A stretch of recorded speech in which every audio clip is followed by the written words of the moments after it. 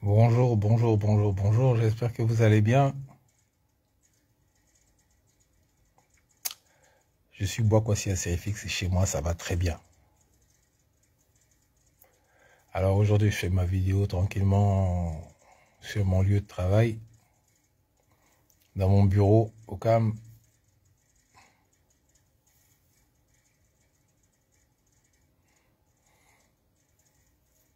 J'espère que ça va, ça va bien chez vous.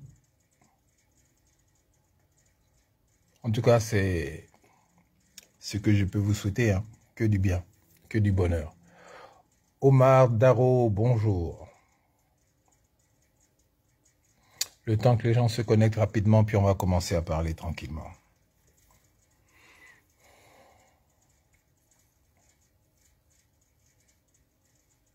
Merci pour ceux qui partagent qui donne de la force à la vidéo. Merci à ceux qui mettent les cœurs et les pouces, ça donne la force à la vidéo. Et ça envoie la vidéo euh, vers les personnes qui sont visées par mes propos. Parce que c'est ça qui est important, que les gens la puissent euh, entendre ce que j'ai à leur dire.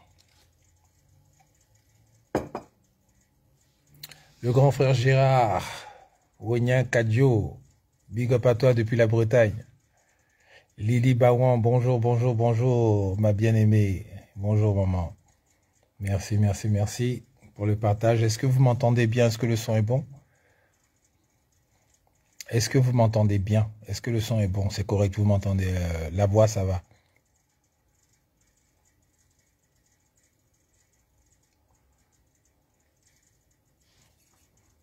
Est-ce que la voix, le son est bon? Est-ce que ça va?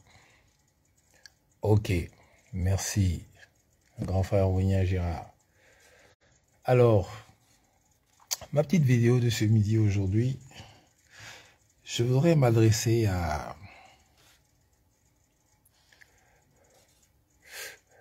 Gozé Digbe Théophile, bonjour, bonjour. Au magistrat de la colonie Ivoire. Lorraine Palou, gros bisous à toi puis ta position, maman. Big up à toi. Je voudrais m'adresser aux magistrats corrompus. J'ai bien dit les magistrats corrompus.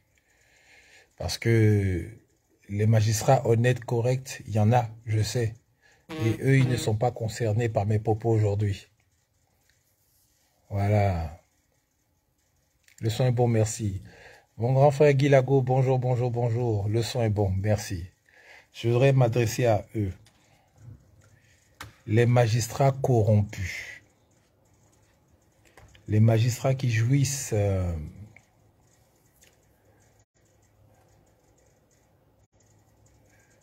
du pouvoir qui leur est conféré par rapport euh, à leur position et qui jouissent euh, matériellement ou bien d'une manière ou d'une autre des bienfaits du pouvoir et en échange, ils se permettent de faire des choses qui vont à l'encontre de la justice, à l'encontre de tout ce qu'ils ont travaillé pour, à l'encontre de l'honorabilité de la fonction. Voilà. Et qui donne des verdicts et qui prononce des verdicts vraiment euh, qui ne leur font pas honneur. Je voudrais leur dire que les temps ne sont plus les mêmes que ceux d'avant. Il y a des gens qui euh, sont spécialisés aujourd'hui, ça je voudrais vous, annoncer ça pour répertorier justement les agissements et le comportement avec des preuves à l'appui de tous ces gens qui vont, qui profitent euh, de leur pouvoir pour pouvoir commettre des injustices envers euh, les populations, envers les gens. Ou bien des fois qui surfent sur les lois pour pouvoir régler leurs comptes aux gens euh, qui les dérangent ou bien qui, qui, qui ne leur plaisent pas. Il y a des gens qui font ça. Ça, je vous l'annonce, je vous le dis. Et le jour où la normalité va prendre place, vous serez poursuivi à votre tour. Je sais qu'il y a des gens qui ont mis des lois pour que les justiciables ne soient pas poursuivis par rapport aux décisions qu'ils ont prises et tout ça là. Mais croyez-nous, plus rien ne sera comme avant. Le changement que nous sommes en train de souhaiter, que nous sommes en train de réfléchir, penser, N'imaginez même pas un seul instant que nous allons copier bêtement ce que le blanc nous a donné, ou bien les plans que les gens là nous ont donnés.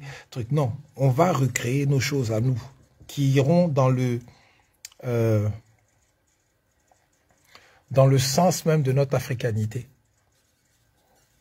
dans le sens de tout ce que nous voulons faire de nouveau. On n'est pas obligé de faire comme les gens. Ça, il faudrait que les gens se rappellent de ça. On n'est pas obligé de faire comme les autres de l'extérieur. On peut penser, réfléchir par nous-mêmes et faire en sorte qu'on puisse trouver des lois qui vont dissuader toute personne qui va s'amuser parce qu'il a le pouvoir aujourd'hui de faire ce qu'il veut à n'importe qui, n'importe comment, comme il veut, selon sa guise. Nous réfléchissons dessus. Ce qui fait que, quelle que soit la personne, qui sera au pouvoir, il ne pourra que suivre les lois. Il ne pourra que faire ce qui est juste, correct, sans état d'âme, euh, qu'il aime la personne qui juge ou qui ne l'aime pas. Il sera obligé d'appliquer la loi telle qu'elle est et de façon juste et équitable. Pas parce qu'il est au pouvoir, parce qu'il sait très bien que si jamais son tour passe, il sera jugé de la même façon.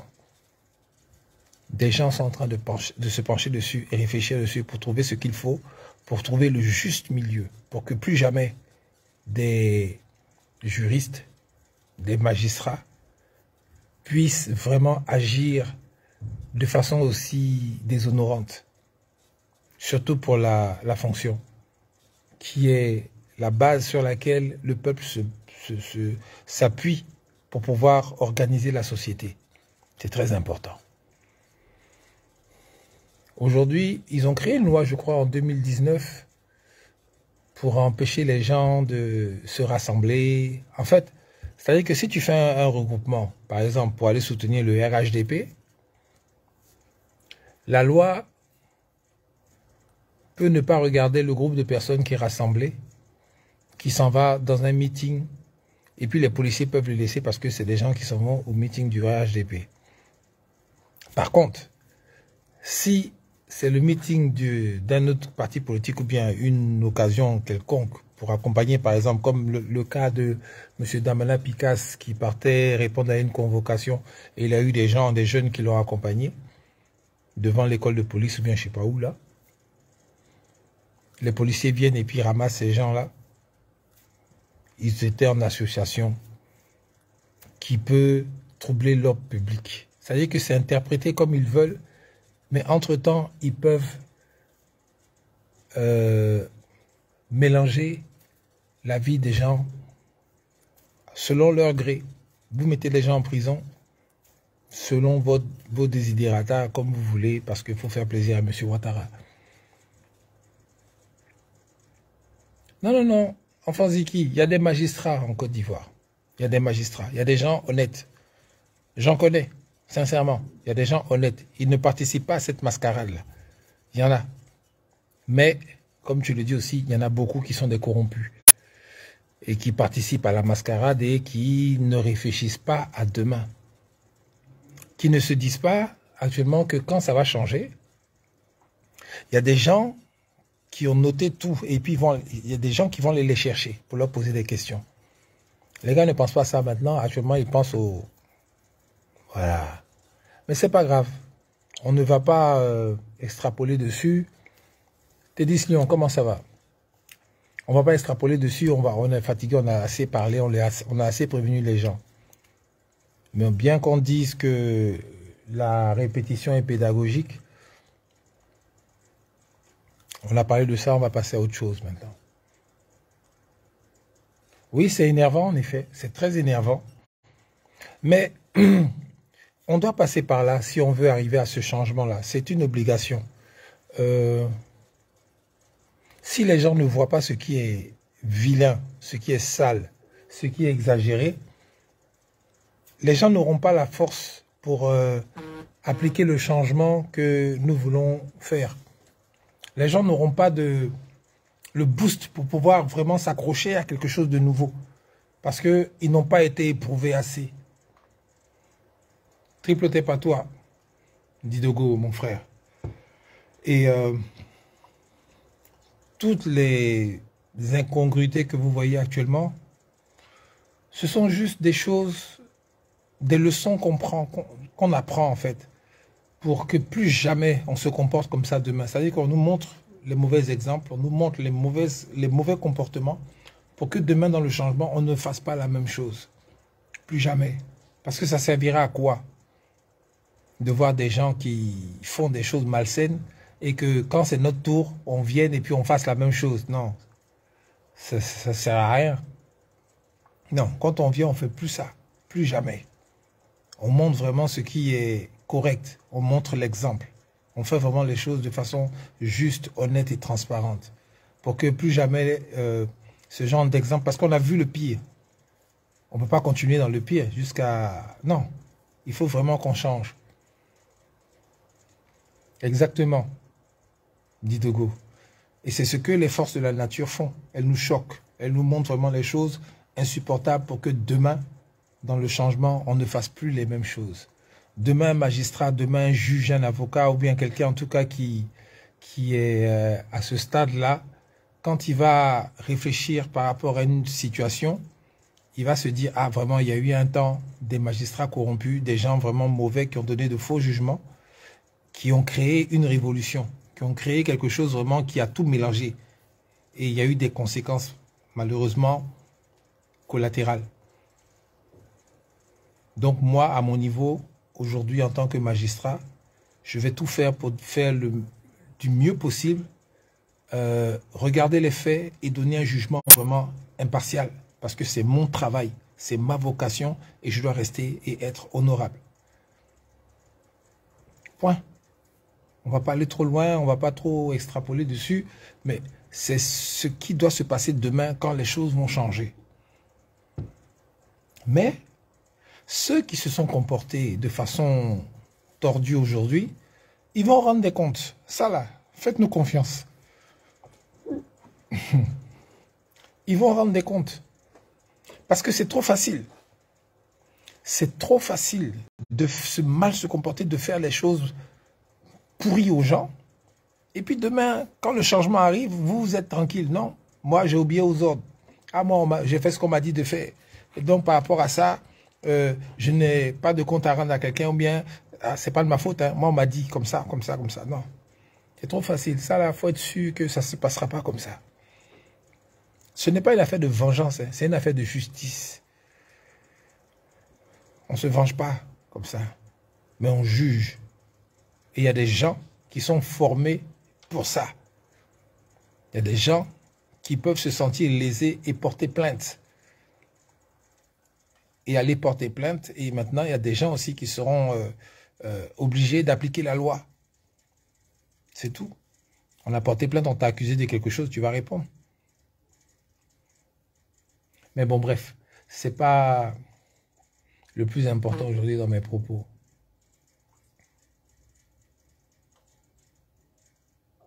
Je voudrais euh, avertir encore les Ivoiriens et les Ivoiriennes. Les temps sont pas bons. Lorraine Palou, maman. On a dit, quand que tu es allé à l'école. Je dis, il y avait une loi qu'ils ont faite en 2019 là par rapport au regroupement des gens et tout ça. Allez chercher dans les histoires, les articles de loi, où les gens, quand ils sont rassemblés, s'ils cassent ou bien s'ils cassent pas, ou tout ça là, c'est susceptible d'aller en prison. Ils ont créé ça spécialement et ils l'ont fait exprès Parce que la seule chose qui leur fait peur, c'est le rassemblement des gens, des populations, le pouvoir en place actuel. Donc, ils ont créé ce truc-là. Et maintenant, quand c'est eux qui doivent faire des rassemblements, là, les policiers ne sont pas habilités à aller attraper les gens pour les mettre en prison parce qu'ils se sont rassemblés. Mais quand c'est les autres, oui, on peut le faire. Mais c'est pas grave. Moi, j'ai juste donné un avertissement aux magistrats qui sont corrompus, parce qu'ils le savent, ils savent ce qu'ils gagnent. Et après, le temps nous, nous, nous dira. Après, le temps nous dira. Guy Zézé, comment ça va? Rosamond, gros bisous à toi. Triple tape à toi.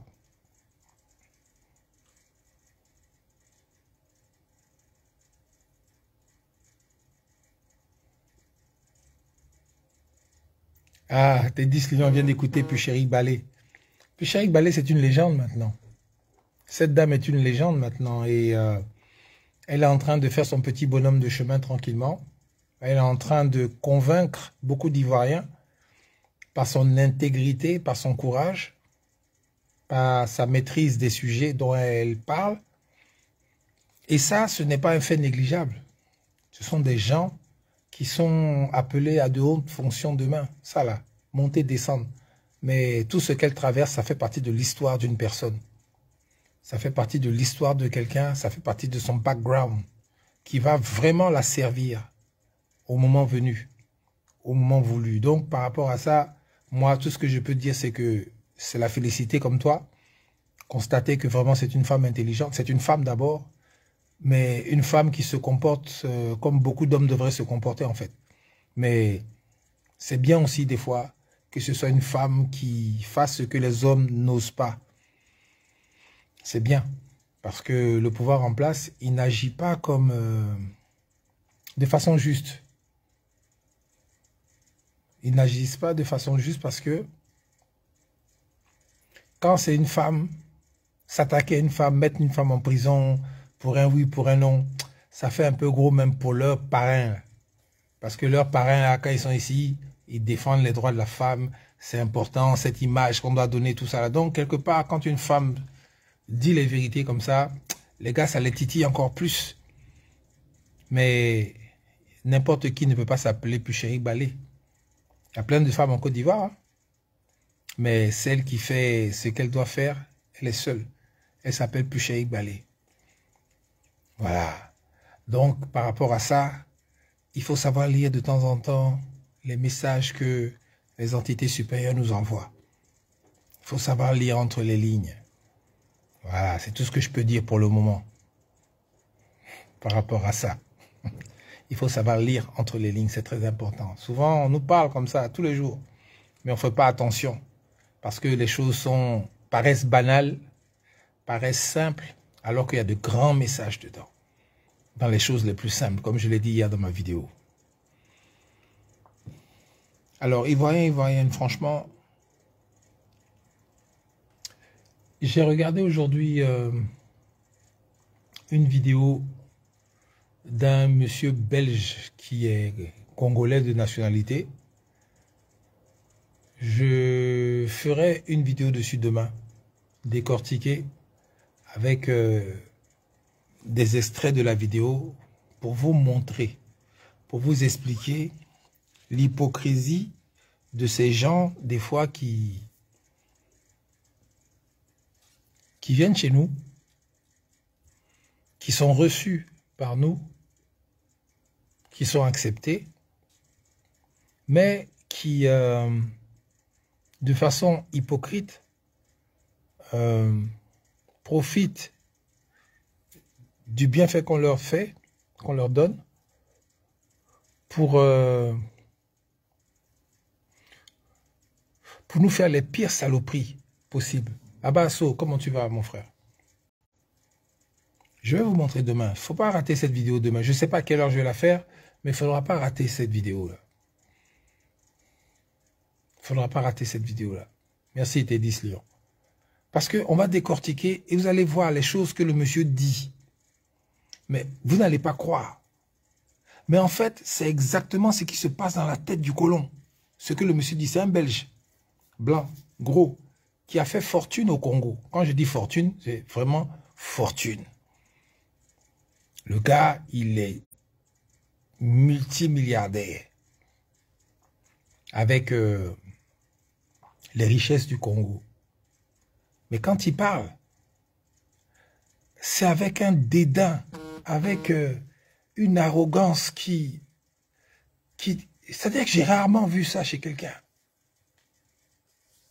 Sergei Chouagou, comment tu vas la famille? Mais on va en parler demain.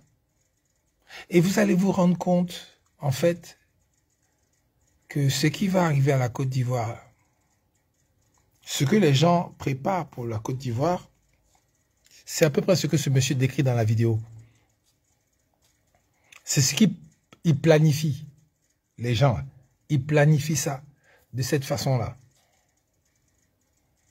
Et faudrait pas qu'on tombe dans ce piège. J'ai regardé une autre vidéo aujourd'hui euh, de Monsieur Foucault, Alain, je crois, Alain Foucault, qui parlait de la Guinée et de ce que Mamadi Doumbouya euh, a fait pour le secteur minier en Guinée. Mamadi Doumbouya a fait un coup d'État, il a récupéré le pouvoir, mais entre-temps, et ça les gens n'en parlent pas beaucoup, euh, tout le secteur minier par exemple, parce que la Guinée est un scandale géologique, dans le sol de la Guinée, il y a tellement de richesses. Il y a beaucoup de fer de haute teneur, vraiment le fer de très bonne qualité pour faire tout ce qui, vous imaginez en faire, l'acier, toutes ces choses-là, les, voitures, euh, euh, toutes ces choses-là. Et euh, Mamadi Doumbia,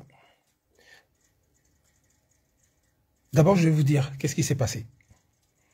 Depuis que la Guinée est Guinée, les multinationales là se sont accaparées les marchés en expliquant aux Guinéens que comme ils n'ont pas la technologie pour euh, transformer leur fer et tout ça, eux ils vont investir et puis ils vont euh, voilà donner un petit guet aux Guinéens parce que euh, voilà c'est les services qu'ils peuvent proposer. Mais entre temps, ils ont fait croire aux Guinéens que ça coûte tellement cher, un peu comme ce qu'ils ont fait aux Ivoiriens avec le pétrole à 10%, pour l'État.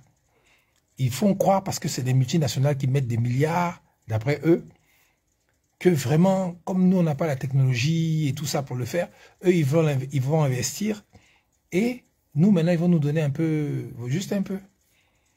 Et c'est ce qu'ils ont fait avec tous les présidents guinéens, à part Sékou Touré, bien sûr, qui avait tout bloqué, mais quand même, il y avait encore un peu de, de magouille en bas.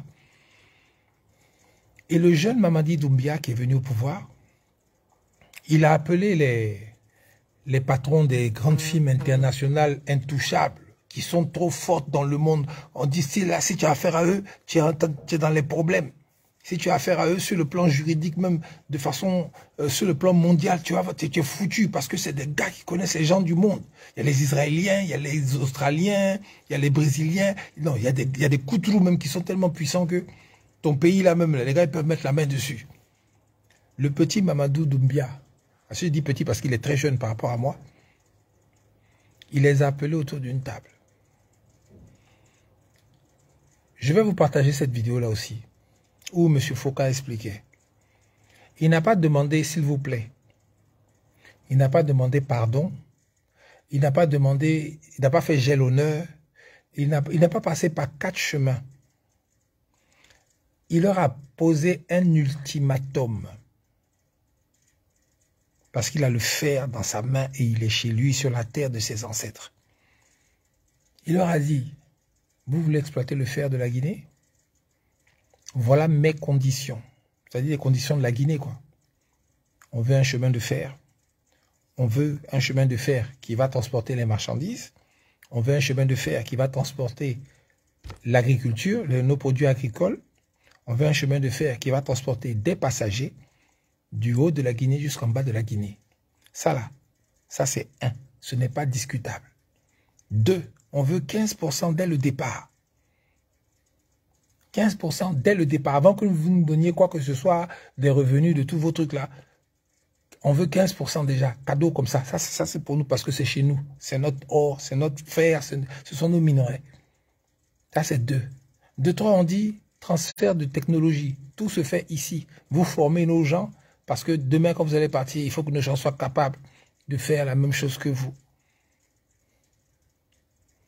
Il leur a dit, ce n'est pas discutable. Il a enlevé ses gafas là.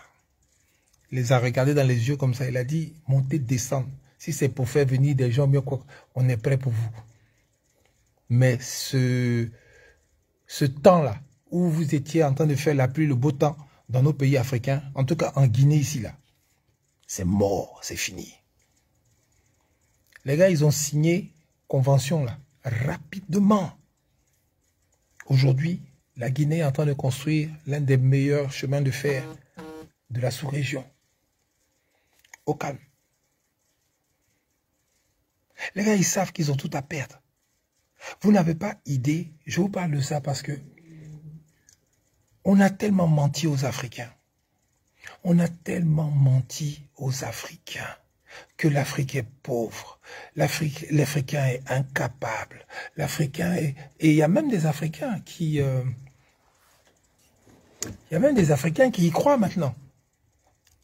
Quand ils, même, ils parlent d'eux-mêmes, ils disent que nous, les Africains, on est, on, est, on est des sorciers.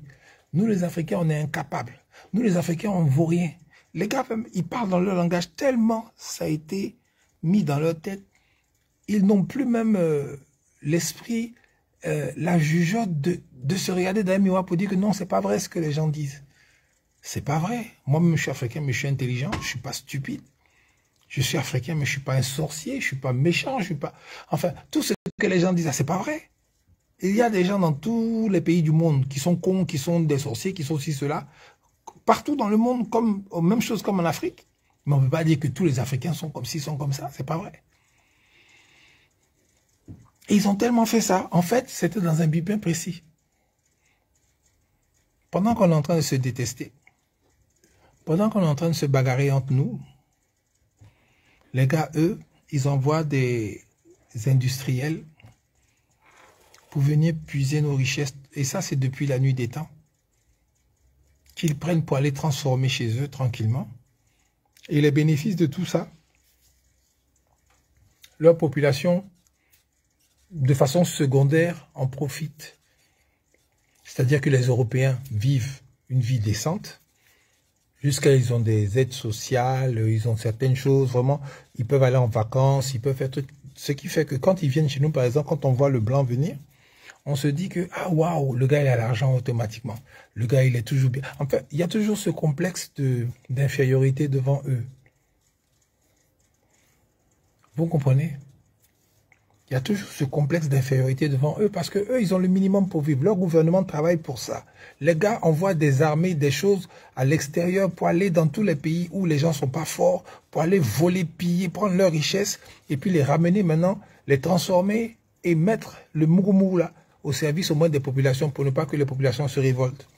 Mais par contre, eux, à leur niveau là-bas, là, dans leur compte en banque, je parle des dirigeants et des, gens qui sont intermédiaires entre les industriels et les dirigeants, eux, leur vie, là, c'est des vies de... Wow, les gars dans les Açores, dans les Bahamas et tout ça, dans leur compte en banque, euh, dans les paradis fiscaux, les gars, ça va. Et c'est comme ça depuis la fin de la guerre, depuis... Les... C'est comme ça, ça se passe. Je vous donne un exemple simple.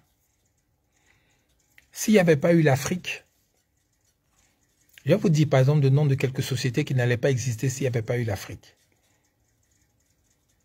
S'il n'y avait pas eu l'Afrique, Nestlé n'allait pas exister.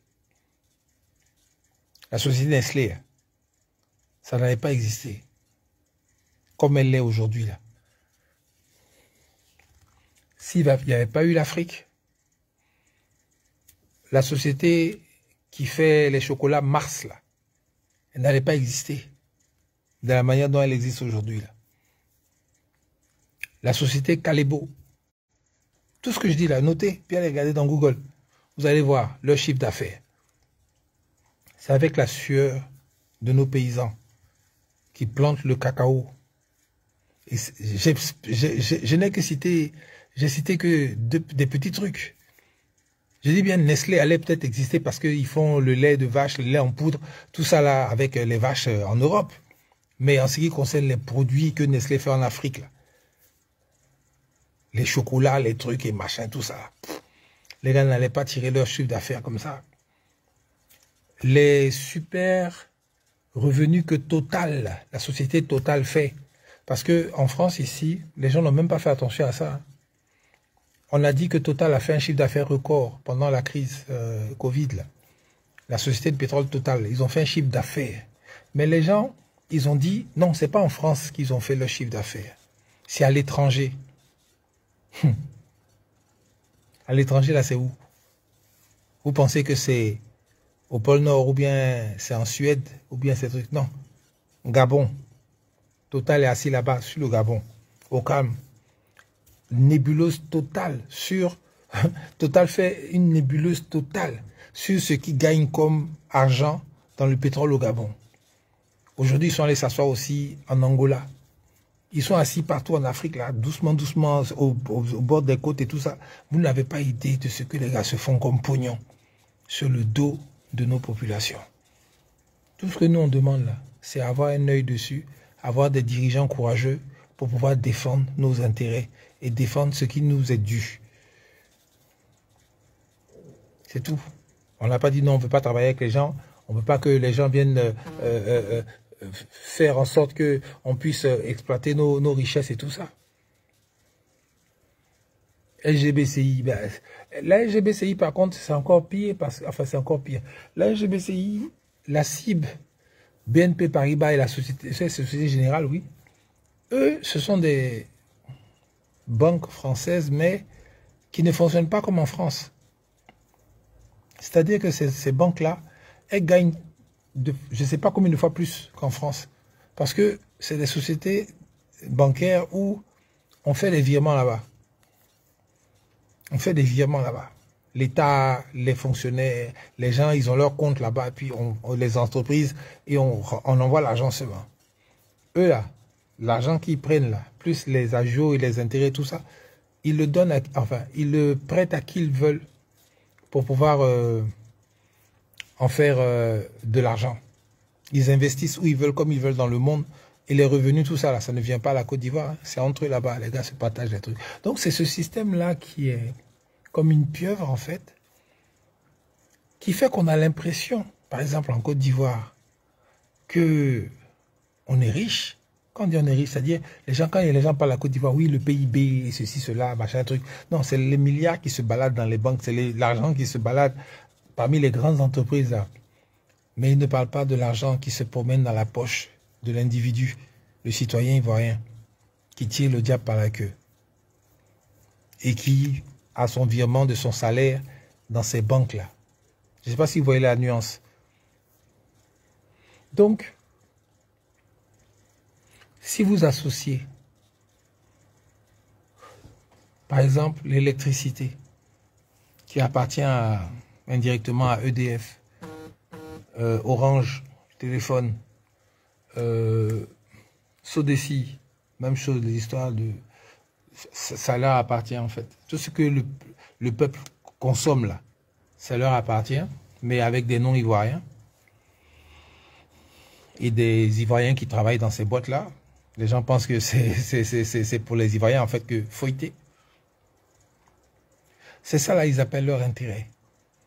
Et c'est ce qu'ils ont peur de perdre, en fait, quand euh, ils voient des gens comme nous parler d'indépendance, parler de, euh, souveraineté et, tout et tout, comme mon frère Zoku aime dire.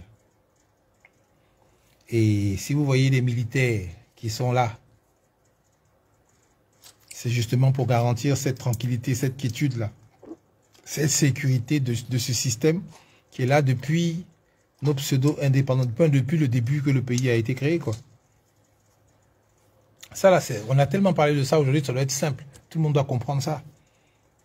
Mais je parle de tout ça parce que les choses sont en train de changer. Les jeunes, la jeunesse africaine, comme Mamadi Doumbia en Guinée, ont compris beaucoup de choses. Et plus jamais, je dis bien plus jamais, on va retourner en arrière on ne peut qu'aller de l'avant et on ne peut que continuer de dénoncer les choses qui sont tellement euh, grossières, de foutaise, en foutaise que les gars, ça les inquiète, ça, les dérange. ils comprennent pas. Ils, ils, ne s'attendaient pas à ça, quoi, aussitôt, aussi vite. Donc, ça fait que maintenant, ils paniquent un peu. Et vous voyez les gens maintenant euh, soutenir même l'insoutenable, ou bien se taire devant les choses qui sont vraiment graves. Et euh, euh, ils essayent, ils réfléchissent en tout cas pour trouver une solution pour sauver les meubles. Par exemple en Côte d'Ivoire ou au Sénégal, qui sont le fer de lance de cette France-Afrique, là, de ce système-là. Mais malheureusement pour eux, on leur parle tous les jours, on leur dit tous les jours qu'il faut changer de logiciel. Il faut changer de logiciel, les gars. La chance qu'ils ont, c'est qu'on parle le français encore aujourd'hui. La chance qu'ils ont, c'est que, par exemple, pour les gens comme moi qui avons voyagé un peu, euh, on a encore un peu cette euh, porte ouverte au dialogue, aux échanges, afin que, bon, si les gars vraiment changent leur logiciel et qu'ils viennent respectueusement pour parler avec nous, vraiment sincèrement, pour, un, pour une collaboration effective, équitable et juste, je pense que ils perdront beaucoup, c'est vrai, mais ils ne perdront pas tout. Alors que là, actuellement, ils sont en train de se battre justement pour ne pas perdre beaucoup. Voilà la nuance. Ils refusent de perdre beaucoup. Mais le problème, c'est quoi? C'est que beaucoup vous étiez en train de manger sur le dos des pauvres gens. À un moment donné, les pauvres gens aussi ont droit de vivre normalement. On est fatigué de voir nos enfants mourir dans le désert. On est fatigué de voir nos enfants se faire frapper en Tunisie, dans les pays, trucs et tout ça, mourir dans la mer. On est fatigué de voir les gens venir de en Europe. On ne supporte plus ça, c'est fini. les Africains ont le droit de vivre chez eux? Tranquillement. La jeunesse africaine a le droit d'avoir un avenir en Afrique? Puisque vous-même, vous dites que l'avenir de l'Europe, c'est l'Afrique. Je vais vous montrer la vidéo demain. L'avenir de l'Europe, c'est l'Afrique. Et les Africains eux-mêmes, leur avenir, c'est où? Je pose la question à ces gens-là. Comme Macron qui dit que oui, l'avenir de l'Europe, c'est l'Afrique. L'avenir des Africains, c'est où? L'avenir des petits Africains eux-mêmes, là, c'est où? Puisque l'avenir de l'Europe, je le dis, c'est pas nouveau. C'est l'Afrique. Et les Africains eux-mêmes, leur avenir, c'est où? Doit vous faire réfléchir. Hein. Quand Macron dit, avec d'autres personnes, parce que c'est pas le seul, que euh, von der Leyen ou bien quoi là, elle aussi, présidente de la Commission euh, européenne, l'avenir de l'Afrique, l'avenir de l'Europe, c'est en Afrique. Ils savent très bien que Aujourd'hui, l'Afrique est le poumon économique du monde. Et ils savent très bien que l'Afrique sera encore plus riche que la Chine. Ils le savent. Si les Africains vraiment font ce qu'il faut pour pouvoir contrôler leur matière première en premier. Quand vous réfléchissez, vous regardez ce qui se passe au Congo. Vous pensez que c'est un hasard parce que les Congolais sont trop bêtes. Non. Tout est savamment pensé. Quand les gens insistent sur euh, la culture au Congo, quand ils vous parlent de culture, c'est danser, danser, danser, chanter, danser. Dans tous les quartiers, il y a au moins 10, 10 orchestres. Les gens chantent, les gens dansent seulement. Ou bien église. C'est pour faire quoi À votre avis? Plus tu danses, et puis en plus, usine de quoi? Les usines qu'il y a en Afrique, là. Ça, là, c'est un truc, les gens n'ont même pas fait attention à ça. La majorité des usines que vous voyez en Afrique, même à Abidjan, regardez, à Trècheville. Usine qui est posée à Trècheville, c'est usine de boissons. Là, il y a les appareils pour fabriquer la boisson, pour boire. Et quand on boit, qu'est-ce qui se passe? C'est aussi capital, aussi important que ça, de faire des usines de boissons par rapport à une usine d'Atchéké ou bien une usine de boîtes de, tomates, ou bien une usine en tout cas d'aliments qu'on consomme directement comme ça. Akuba Jacqueline Kanga, merci maman.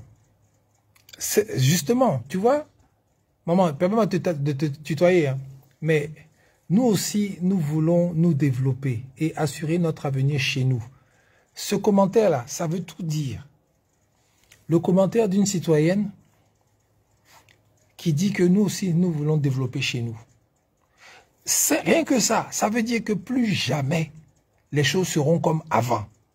Plus jamais on va s'amuser à danser, s'amuser bêtement, puis les gens vont venir exploiter nos trucs. Plus jamais on va se battre entre nous pendant que les gens sont en train de se battre. On va dire, l'ONU, venez nous sauver. Et puis maintenant, l'ONU vient, et puis des gens, des militaires viennent s'asseoir là. Et puis, pendant que nous, on se bat, eux, ils sont en train de bouffer. Plus jamais ça va se passer comme ça. Plus jamais les matières premières vont sortir de chez nous comme ça, boum, pour aller au port. Et puis, non, non, non, non, non. Nous aussi, si vraiment on n'a même pas la technologie, parce que ça nous appartient en premier, parce que c'est chez nous, tu vas venir avec tes investissements. Nous, on te donne simplement une opportunité de pouvoir avoir un peu, dans beaucoup qu'on a. On te donne l'opportunité. C'est nous, on accepte de te donner l'opportunité de te faire un peu d'argent chez nous. Donc, nos conditions là, tu vas t'y plier. C'est là, là, le nœud gordien. C'est là, là, le vrai problème. Parce qu'on a des chefs, des gens qui signent les papiers, qu'on met au pouvoir et qui se contentent des petites euh, misères, des petites pacotilles qu'on leur donne là, pour signer des contrats, puis donner maintenant le feu vert aux gens, de prendre tout pour partir. Tant que moi, tu me protèges avec ton armée, tant que moi, ma famille, mes amis, mes proches, on peut aller se soigner chez toi, on peut manger, acheter des châteaux partout, on peut faire ce qu'on veut. Mais la population là-bas, ce n'est pas important.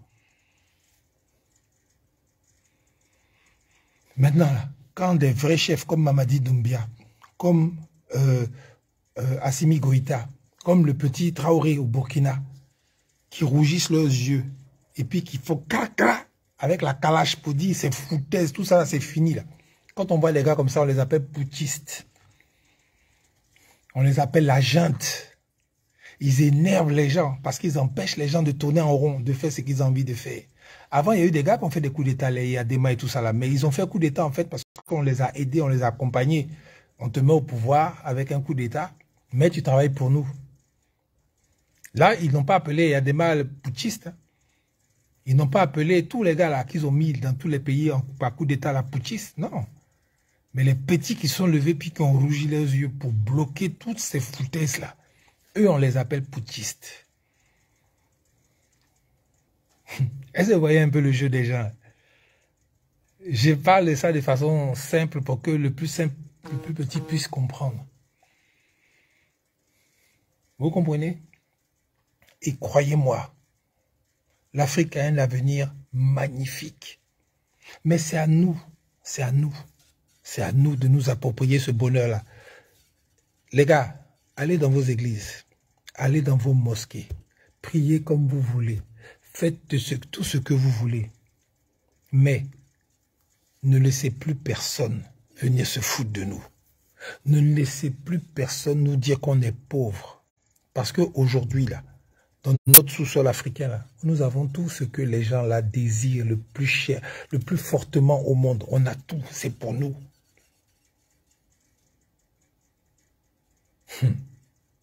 On a tout. On ne peut plus se faire petit devant eux. Mais ils ont retourné le cerveau de certaines personnes parce qu'avant, les peuples n'étaient pas unis. Avant, l'information n'allait pas vite comme aujourd'hui. Avec l'Internet, tout ça. Aujourd'hui, l'information est ultra rapide. Les gens comprennent beaucoup. Avant, les gens ne comprenaient pas. Donc, nos chefs là faisaient ce qu'ils voulaient. Et puis, c'était six mois après, bien un an après, on était au courant. Mais là, là aujourd'hui, c'est à l'instant T. On ne peut plus accepter les choses comme avant. C'est fini. Maintenant, tu es un chef d'État, Joe ta première mission quand tu as fait tes premiers cinq ans, bien quoi là, Joe, un hôpital, une école, ça ne doit plus être quelque chose d'extraordinaire. Ça doit être quelque chose de banal. De répéter Je dis, aujourd'hui là, quelqu'un qui vient au pouvoir, un hôpital ou bien une école, ça doit être quelque chose de banal, tellement ça sera vulgarisé.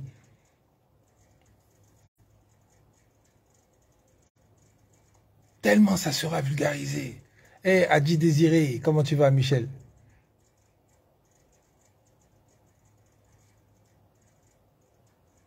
Vous comprenez, non? Parce que on a l'impression des fois, on dit oui, Merci au président de la République d'avoir fait la route. Merci au président de la République d'avoir fait une école. Merci au président de la République d'avoir fait une université. Comme si c'était quelque chose d'extraordinaire. Si vous saviez l'argent qui passe dans les mains de ces gens-là. L'argent qui s'en va de façon frauduleuse dans la main de ces super entreprises-là qui exploitent nos richesses. Peut-être il y en a qui vont s'évanouir. Tellement c'est colossal. Tellement c'est colossal. Est-ce que vous vous rendez compte? Japon que vous voyez là, le Japon là. Le Japon que vous connaissez là, Japon, Tokyo, tout ça là. Est-ce que vous savez que dans leur sous-sol là, il y a des gens qui sont avertis qui le savent, mais dans leur sous-sol là, il y a zéro comme matière première, il n'y a rien. Ils n'ont rien. Mais ils ont accès leur richesse sur le savoir. Les gars, ils n'ont rien, mais petits, ils prennent quelque part quand ils achètent là. Ils ont fait leur Congolo de telle sorte qu'ils puissent transformer des choses, fabriquer des choses pour les revendre. Mais imaginez, je vous fais ce dessin-là pour que vous puissiez comprendre quelque chose. Le Japon qui n'a rien dans sa terre, qui a la connaissance et qui transforme le fer qui vient de Guinée en voiture, Toyota, Lexus et machin, tout ça. Et puis il gagne l'argent encore pour mettre dessus. Pour faire des sociétés costauds comme Toyota, comme Mitsubishi, comme Sony, comme ces choses-là. Ils ont perdu un peu d'argent quelque part parce que ils ont acheté la matière première quelque part. Mais imaginez l'Afrique, on a la connaissance, la technologie, et en plus on a la matière première dans notre terre qui est là à côté. On ne va pas chercher ça quelque part, on n'achète pas ça quelque part, c'est pour nous-mêmes. Il suffit qu'on creuse, on prend un peu, et puis on fabrique aussi Toyota. C'est un mot que je dis comme ça, mais on fabrique aussi quelque chose, puis on vend maintenant aux autres. Qui sera plus riche entre le Japon puis l'Afrique? Je vous pose la question. Le Japon qui n'a pas de matière première, mais qui a la connaissance pour transformer les choses. Et qui achète ces matières premières quelque part, et puis il transforme, puis il revend. Et puis celui qui est chez lui, il a toutes les matières premières, il a la connaissance. Et il fabrique aussi. Et puis il vend. Entre les deux là, qui sera riche? Sandrine, comment tu vas? Gros bisous à toi depuis ta position. Ma frangine. Vous comprenez ce que je veux dire? Donc, cette image d'Afrique pauvre, c'est une image qui a été fabriquée en fait pour affaiblir le cerveau des gens. Et pendant qu'ils sont faibles, on exploite, on prend. Et puis nous, maintenant, on transforme. Parce qu'on a été à l'école, on a appris des choses. Il est temps maintenant que les Africains apprennent aussi à transformer ce qu'ils ont gratuitement dans leur sol. Et qui revendent aussi comme les autres. Ce n'est pas du vol. Ce n'est pas de la triche. Ce n'est pas quelque chose d'extraordinaire, c'est quelque chose qui est naturel, qui est logique, qui est normal. Vous n'allez plus voir un seul petit Africain traverser la mer, aller mourir dans l'eau pour être euh, serveur ou bien je sais pas quoi dans un autre pays, qui est fou pour laisser son petit paradis pour aller souffrir dans un autre pays. Non, c'est fini. Les problèmes d'immigration, les problèmes de ceci, cela, les gens n'en parleront plus. Parce que chacun va rester chez lui. Maintenant, si tu veux aller te promener, euh, euh, tu vas aller dépenser de l'argent, que ton argent, tu vas aller faire des courses aux Champs-Élysées, tu pourras le faire tranquillement. Mais tu as un visa, tu viens pour 15 jours, un mois, tu achètes ce que tu veux, puis tu repars. Au calme. Tu vas pas trembler à l'aéroport de peur d'être rejeté parce que tu as un visa qui est bizarre, ou bien tu as des papiers qui ne sont pas corrects et que tu viens pour balayer dans les hôtels ou bien tu viens pour faire... Enfin, tu... Non, c'est pas possible.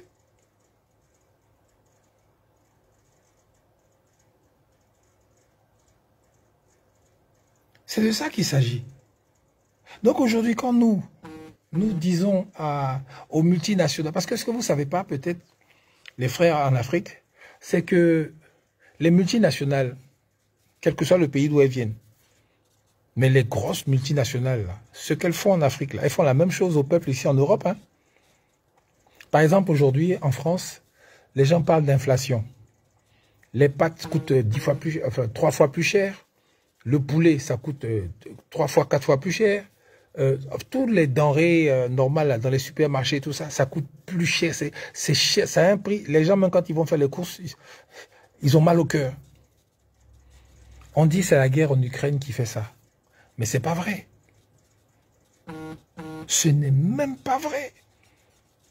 C'est simplement parce que l'électricité, qui est une source d'énergie, qui est l'énergie avec laquelle les usines fonctionnent, il y a un groupe d'individus dans le gouvernement français à une époque, il y a je crois 15 ans de cela, qui ont calculé et ils se sont dit que avec le gaz qui vient de Russie, en Allemagne, en premier, puisque le, pipeline euh, qui transporte le gaz, ça va jusqu'en Allemagne, le Nord Stream 1 là, en Allemagne, quand ça arrive en Allemagne, ils vont pouvoir euh, transformer ça en électricité et ça sera vraiment le coût sera vraiment réduit pour la fabrication d'électricité. Le coût sera vraiment réduit, donc ça veut dire que on fait de l'électricité moins chère, mais on la revend à un prix normal aux Français sans qu'ils le sachent. Parce que quand le prix de l'essence diminue, le prix à la pompe d'essence ne diminue pas. Au stade où, à une époque, c'était à 1 euro le litre. Ça ne retourne jamais là-bas. Hein. Mais ça ne fait que monter, monter, monter, monter, monter, monter, monter, monter. Mais les gars, quand ils ont l'essence moins chère, le pétrole moins cher, ils ne disent pas que non, bon, comme c'est moins cher cette fois-ci, on va redescendre encore le prix. Non, les gars, ils, laissent au prix où c'était là. Et puis, pour la, dans la tête des citoyens, on a l'impression que c'est normal que ce soit 1,40€, 1,50€. C'est normal. C'est la même chose pour l'électricité. Quand les gars, ils ont réfléchi, ils ont dit que l'électricité, là, on va l'acheter moins cher parce que ça vient de Russie par rapport au gaz et le fait de transformer, mais dans les maisons, dans les entreprises, là, les gars vont payer quand même plein pot. Parce que c'est le peuple, c'est les gens, nous on s'en fout. L'essentiel c'est qu'ils sont obligés, ils ont besoin d'électricité, donc ils vont, ils vont payer comme on veut. Et les gens payent comme ils veulent. Mais maintenant, leur bêtise ils ont fait de vouloir sanctionner la Russie, couper le gaz, couper les trucs et tout ça. Ils sont obligés maintenant d'aller chercher l'énergie ailleurs. Et qui leur vend l'énergie tout de suite C'est les Américains avec leur gaz de schiste les Américains sont bien contents qu'il y ait la guerre en Ukraine et que leur gaz soit acheté par les Européens. Donc quand le prix de l'électricité augmente, les matières augmentent pour faire l'électricité, ben c'est normal que l'électricité aussi monte. Voilà le truc. Oban, comment ça va, Melech? Donc l'usine qui, utilise l'électricité pour faire euh, les saucisses, pour faire tous ces trucs-là, là, ben, les gars, ils, font, ils vont majorer les prix par rapport à ce qu'ils vendent. Donc tout augmente. Mais c'est dû à la bêtise d'un petit groupe qui a décidé que, au lieu de garder nos centrales, euh, centrales atomiques là, qui fabriquent l'électricité moins chère, ils ont fermé des centrales nucléaires, les gars. Vous vous souvenez pas de ça pour ceux qui connaissent la France? Les gars ont fermé des centrales nucléaires parce que le business de, ça, le gaz qui venait de Russie était très juteux. Donc les gars, ils ont fermé les centrales nucléaires pour que, euh, voilà, on aille acheter les matières premières pour faire l'électricité moins cher et qu'on vende le prix toujours à un prix toujours normal. S'ils avaient pris moins cher le gaz qui venait de Russie pour en faire l'électricité et baisser les factures de tous les Français au niveau de l'électricité, ça aurait été parfait. Mais non pas baisser les factures des Français. Et aujourd'hui, on arrive dans la situation que vous voyez là. C'est volontaire. Et vous allez remarquer encore que les grosses entreprises font en période de crise leurs meilleurs bénéfices. Après le, leur histoire de Covid, là. Vous avez entendu telle société, chiffre d'affaires du jamais vu. Chiffre d'affaires du jamais vu. Les gens réfléchissent, disent, mais attends, mais comment? Nous, c'était dur pour nous, puis eux, là, tout va bien comme ça. Non. Les gars, ils sont profités e-commerce, machin truc. Les gars, ils ont vendu. C'est-à-dire que les gars, ils, sont toujours, ils ont toujours une longueur d'avance. Ils savent que s'il y a une crise, s'il y a quelque chose, ils se, préparent à vendre à la population qui achète. C'est le même système qui se passe en Afrique. Aujourd'hui, on dit oui, les supermarchés se sont réunis et ils vont faire une, euh, baisse des prix des produits nécessaires, des denrées, tout ça. Ça, ce n'est que des opérations de com' pour pouvoir bien vendre maintenant dans les supermarchés et faire des chiffres de malades. Parce que ce qu'ils appellent diminuer les prix. Hmm. C'est toujours augmenté par rapport à la normale. Donc c'est toujours des marges supérieures que les gars vont se faire. Si ils te disent 2 euros pour un truc aujourd'hui, le vrai prix de 2 euros là, peut-être c'est 50 centimes. Maintenant, ils vont mettre une marge. Les taxes et machin, ça va arriver à 1,20 euro. Et maintenant, le reste au-dessus là, pour arriver à 2 euros, c'est leur super hyper bénéfice. Maintenant, quand ils veulent vous faire dépenser, ils vont vous dire que ce qui est de 2 euros va descendre à 1,70 euro. Il y a toujours, par rapport à la marge de départ, les gars, ils gagnent toujours. C'est ce qu'ils font, c'est leur système, c'est leur technique, c'est comme ça. Mais c'est la population, comme des moutons, on ne comprend jamais rien.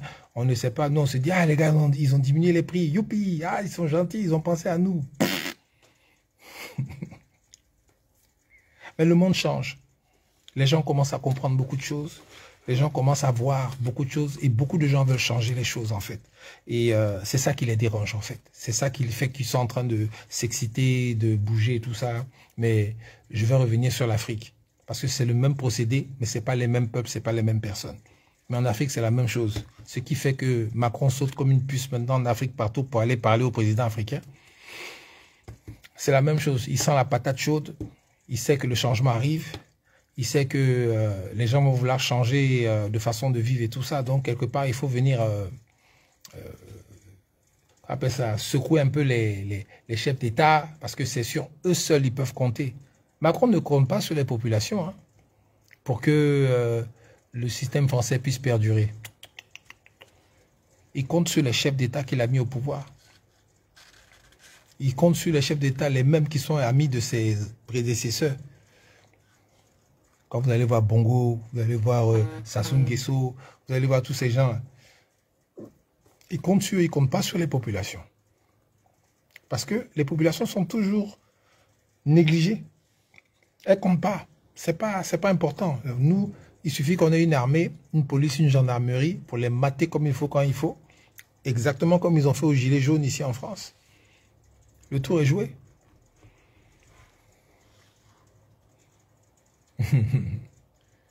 oui, les centimes et tout ça là, le, coût des choses là, si quelque chose coûte 1 euro, le vrai prix ça coûte 30 centimes.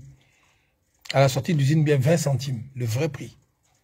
Tout le reste, ça c'est taxes, c'est machin et ajout que les gars font pour arriver à 1 euro que tu achètes là. Maintenant, imagine ce qui te coûte 2 euros, 3 euros, 4 euros et so on, comme on dit.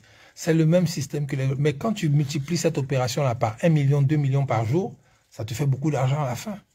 Mais c'est ce que nous, on ne voit pas parce que quand tu achètes, par exemple, à Paris, tu achètes à Nantes, tu achètes euh, à, Nancy, tu achètes euh, à Mulhouse, tu achètes à Toulouse, tu achètes à Strasbourg, tu achètes à Marseille.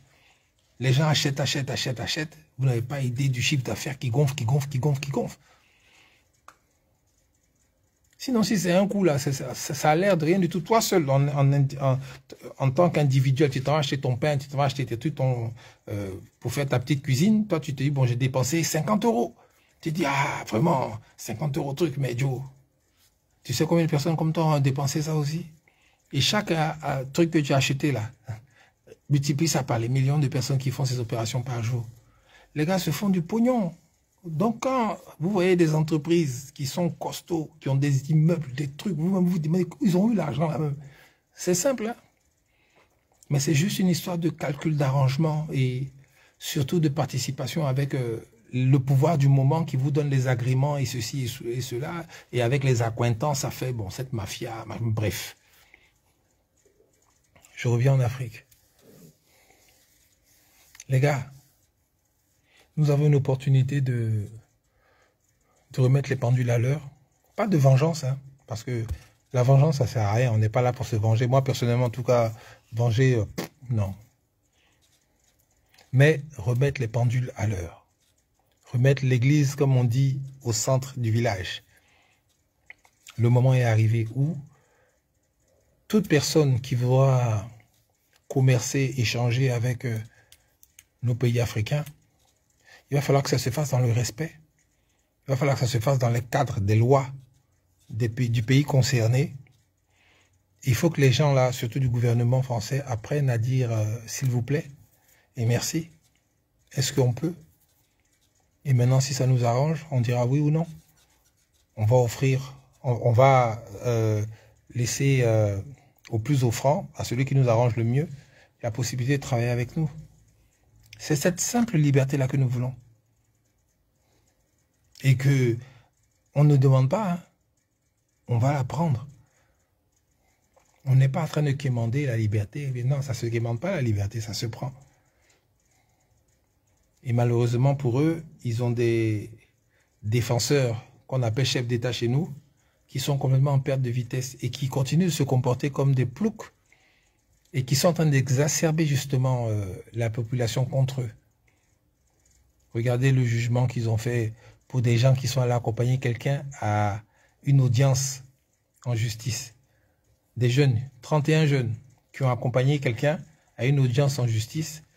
Les jeunes étaient dehors en train de regarder ce qui se passe, attendre que leur, euh, la personne qu'ils accompagnaient sorte. On vient avec un cargo, on les, met on les attrape, on les met en garde à vue. On les juge hier, on les condamne à deux ans de prison. Tout ça, en fait, c'est juste pour décourager et un éventuellement rassemblement demain à gauche, à droite pour X ou Z raison que les gens puissent se retrouver ensemble. C'est tout ce qu'ils veulent faire. Faire peur à l'opposition. Faire peur à l'effet de nombre. C'est tout. C'est une communication que les gars font, mais c'est gauche. Parce qu'au lieu de donner un bon message aux populations, vous êtes en train d'exacerber encore les rancœurs que les gens déjà ont contre vous depuis longtemps. Et vous n'avez pas idée de ce qui est en train de venir vers vous parce que ce que le gouvernement français fait avec les soldats français, par exemple, qui viennent dans les bases et machin là, les Russes sont en train de faire la même chose au Mali, mais seulement dans une euh, configuration différente. Ils ne se mêlent pas de la politique du Mali. Ils ne font que aider les Maliens, l'armée malienne, euh, à sécuriser leur pays. Ils leur montrent, ils les forment, il leur apprend, et puis les armes. Mais vous croyez, moi, ce n'est pas fortuit. Ce n'est pas juste comme ça pour se battre. C'est pour ça qu'on vous prévient toujours. Faites attention. Faites attention. Que les politiciens français changent leur logiciel. On, en parle tous les jours. Hein. On leur dit tous les jours. Mais les gars, ils ne comprennent pas. Et demain, dans la vidéo que je vais faire, quand je vais vous montrer le discours de ce Belge-là qui est assis au Congo, qui se dit congolais. Mais quand vous allez écouter ce qu'il dit, et puis on va décortiquer pour vous expliquer exactement ce qu'il dit, parce qu'il il, dit des choses avec subtilité. Il dit des choses vraiment horribles. Quand vous allez comprendre, en fait, c'est ce qui est dans la tête de ces politiciens-là. Et vous allez voir vers où ils veulent aller. Mais nous, on va leur montrer vers où on doit aller.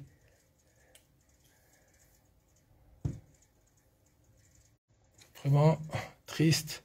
Et là, la communauté internationale est aveugle et ne dit pas, et, dit être partisan. Non, ne vous occupez même pas de cette soi-disant communauté internationale. La communauté internationale, c'est quoi? C'est les mêmes gars, États-Unis, Angleterre, France. C'est eux là qui sont la communauté internationale. Tu vois qu'on l'appelle comme ça Tout ça, ce n'est plus à la mode aujourd'hui. Avant, ça faisait peur. la communauté internationale. La communauté... Non, aujourd'hui, c'est fini. Aujourd'hui, c'est fini. L'Union africaine est sponsorisée par l'Union européenne. Des ploucs comme ça, là, qui se promènent dans les, qui sont payés, là, c'est l'Union européenne qui leur donne l'argent. Ils vont dire quoi? Tout ça, c'est la même chose. C'est la même chose. Ce pas des gens qui vont défendre nos intérêts. Il faut que tout ça, là, ça change. Et ça, là, c'est en train de changer. Parce que d'abord, ça commence dans l'esprit des gens. Avant que ce soit matérialisé. Et dans l'esprit des gens, depuis au moins dix ans, ça a commencé à tourner, tourner, tourner. Maintenant, ça va se matérialiser et vous verrez que plus rien ne sera comme avant. Quand Macron dit l'avenir du monde, là, c'est l'Afrique, c'est vrai. Mais on n'a qu'à faire gaffe pour ne pas que ce soit eux qui décident pour nous encore en Afrique de notre avenir à nous. Mais que ce soit nous. Voilà pourquoi aujourd'hui, là, on fait ces vidéos, on explique aux gens parce qu'on doit se réapproprier nos souverainetés afin qu'on puisse décider. Et quand ils parlent d'avenir, ben, quand ils vont venir parler avec nous, ce sera avec respect, politesse. Et nous, maintenant, on fera ce qui nous arrange d'abord. Parce qu'ils ont besoin de nous. Vous avez compris le truc? Vous avez compris le truc? Parce que là, ils font en sorte que demain, c'est eux qui décident pour nous. Mais nous, on dit non. chez nous, là. C'est nous, on a décidé pour nous. Et c'est ce qui est logique, c'est ce qui est normal. Parce que nous, on vient ici, on ne vient pas décider pour eux. Vous comprenez le truc? Donc, les batailles que nous menons aujourd'hui nous appellent panafricanistes et machin, tous les mots à la mode, les slogans à la con. Nous, on s'en fout. On fait. C'est pas ça qui nous intéresse. Ce qui nous intéresse, c'est mettre la même mission au pays, sur notre souveraineté d'abord. Mettre des gens dynamiques, valables, comme Mamadi Doumbia, comme Assimi Goïta, comme le petit Tauro Burkina, chez nous en Côte d'Ivoire, au Sénégal, et machin, tout ça. Il y aura des gens comme ça aussi. Là, maintenant, quand il y aura une union de ces gens-là, ça sera une vraie union africaine, de gens dignes, qui vont seulement se battre pour les intérêts des populations d'Afrique d'abord. Et maintenant, tous ceux du monde entier qui veulent travailler avec nous, ils seront les bienvenus. Mais seulement ce sera selon des conditions bien claires, comme nous on vient ici là. C'est selon leurs conditions bien claires, et bien ça sera pareil chez nous. Mais notre avantage, c'est qu'on a toutes les matières premières, on a toutes les richesses chez nous. Donc normalement, on doit développer l'Afrique, on doit développer nos populations, on doit mettre nos populations dans le beurre, afin que on rattrape maintenant notre retard sur les autres et tout. Sinon, c'est pas la concurrence, c'est pas la guerre, non. C'est juste que nos populations soient aussi heureuses, que les Africains se soignent, mangent, aillent à l'école, apprennent et surtout soient formés, soient formés pour l'Afrique. Tous nos techniciens, savants et tout ça là, qui soient formés pour les besoins de l'Afrique. Parce que là, actuellement, on forme les gens pour les besoins européens. On apprend les choses comme les Européens, on fait les choses comme les Européens. On ne fait pas les choses pour l'Afrique. Là, cette fois-ci, nous, on va former des gens pour des choses qui concernent l'Afrique. Voilà ce que je voulais vous dire. Je suis Boakwasi à Sérifix. Merci d'être venu, d'être resté sur ce live aujourd'hui. On se retrouve demain pour la fameuse vidéo de décortiquage de ce monsieur belge-là qu'on va mettre au grand jour. Vous allez aimer. Allez, peace et merci pour ceux qui ont partagé la vidéo. Merci pour ceux qui ont mis les pouces. Bisous.